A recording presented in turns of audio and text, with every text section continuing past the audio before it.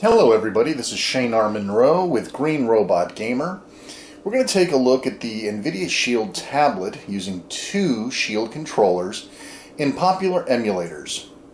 First up, MAME.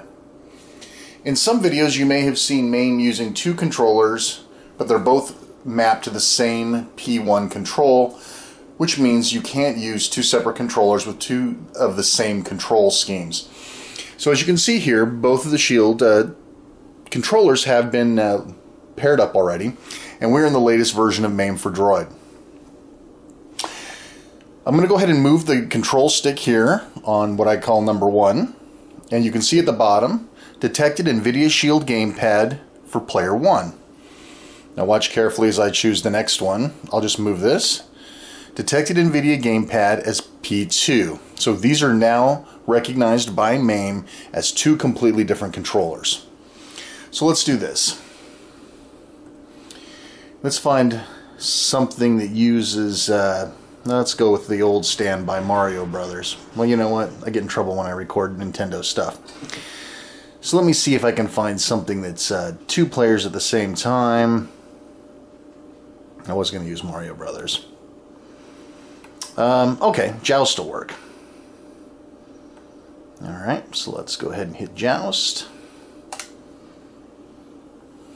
Standard MAME screens.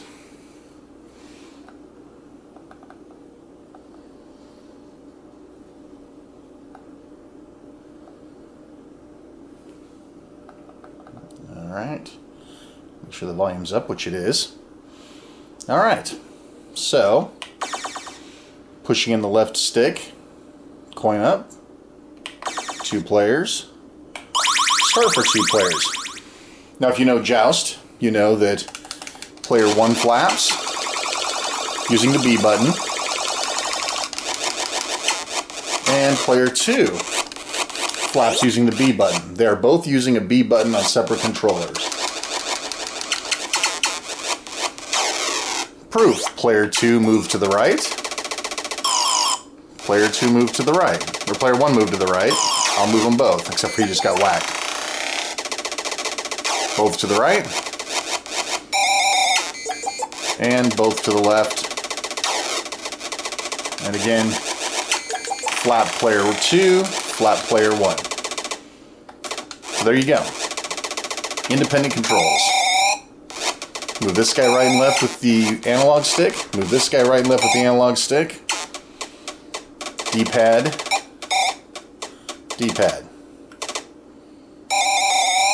Alright, so there you go. The buttons all work independently controlled inside of MAME. Now let's take a look at another emulator. Next up, we're going to take a look at FPSE, which is a PlayStation 1 emulator for Android. Uh, again, you can see both the controllers have already been synced up. Now, the one thing I did do was uh, I did go in and change the key mappings for controller 2. So watch carefully. I will go into Gauntlet Legends. Now, I haven't set anything up. This is a raw install, okay? So I haven't optimized anything. Uh, all I did was load FPSE and go in and change the settings for the second controller.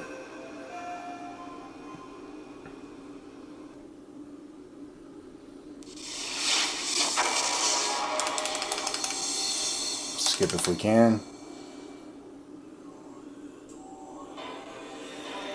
Alright.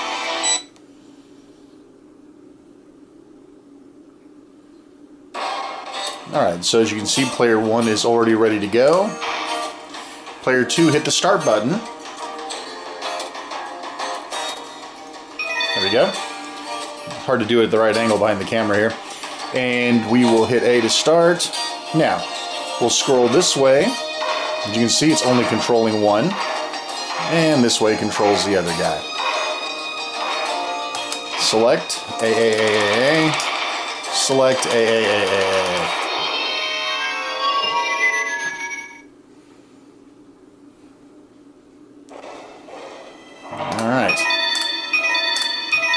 So here we go. Player 2. As you can see, it works completely independent of player 1. Player 1 attack, A. Player 2 attack, A. As you can see, it works just fine. So what did I have to do to set that up? Once the two controllers were detected, I assigned this is pad 1 and pad 2.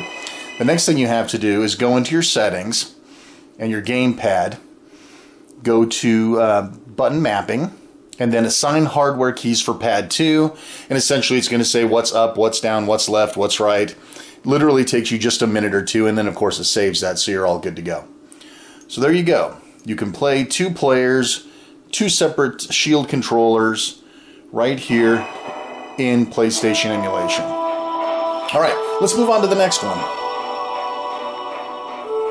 okay folks we're back again with our next emulator nes.emu this is, uh, I did have to do a little bit of setup. It does detect the controllers, but you do have to set up the start and select button to something other than the defaults. Uh, otherwise, it won't use the ones that are built in. Again, that's pretty simple. All you need to do is go into the key gamepad setup, find the two NVIDIA controllers, go to the controller you're looking for, and uh, set the gamepad keys. Just go down to select and start and you can set them up to be the default controls that you would expect them to be on the Shield uh, controllers. Otherwise, everything is fine.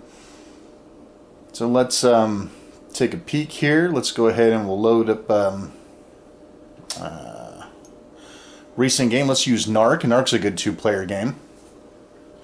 And again, the controls are already uh, all paired up and ready to go. All right. So player one, player two. I really prefer the MAME version. Alright, so here's player one. And we can use the D-pad, or the uh, analog stick to control him, or we can use the D-pad. They're both already pre-configured. A shoots a missile. I'm sorry, uh, if you hold down A, it does shooting, and B does the missile, which I'm now out of. See if I can keep him from getting killed. Press start on player two, and there's player two in red, as you can see. Actually, I think these ones are backwards, but you get the idea. Let's see here. See, A is shoot. And A is shoot. Okay, so you can see that they're using the same thing, so watch carefully. Red to the right, blue to the right. As you can see, they both work at the same time. Now, if you know about the .emus, they all use the same core. So if you're interested in MDEMU or um, uh, PCEngine.emu, all of those all work on the exact same principle and you set them all up the exact same way. Not exactly what I want to do, but that's fine. So, as you can see, all the .emus work just fine. Let's move on to the next emulator. All right, for the last emulator, let's look at SNES 9X EX Plus. There's a mouthful. this is actually technically a Robert, Robert Broglia emulator, and uh, it runs on the same types of cores as all the other .emus. However, because it's not technically part of the .emu series, I thought you'd like to see it work with two controllers. So everything's already been pre-configured. I've done all the hard part of setting everything up. Let's go in and verify that this actually works with Mortal Kombat 2.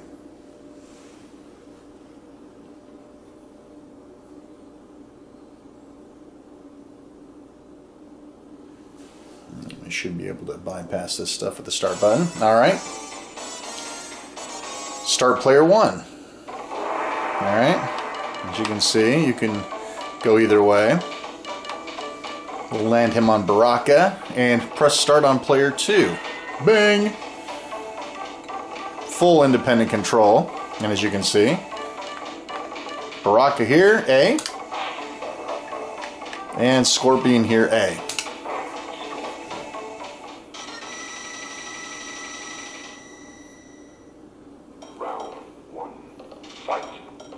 Alright. Baraka here. Scorpion here. A. A. So just uh, see if I can get under the camera here. A. A. Alright folks, well I hope you enjoyed this look at um, two Shield controllers and how it can make your emulation life a lot more fun. Wireless plugged into the big TV, you can't go wrong. This is Shane R. Monroe, Green Robot Gamer. We'll see you next time.